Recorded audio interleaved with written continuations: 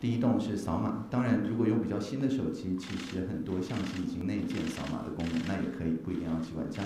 那第二个是按下上面的连接，那个连接会长成像传送简讯给一九二二的那个样子，然后呢再按送出，然后就完成了十连制的操作。好，我刚刚这样讲应该超过五秒钟了，所以讲的是说它只会扫传送简讯到一九二二的 QR code。简讯传到任何其他号码，或者是不是简讯的任何 QR code，这个功能都是不支援的，所以可以说这是我们专属的一个扫码程序。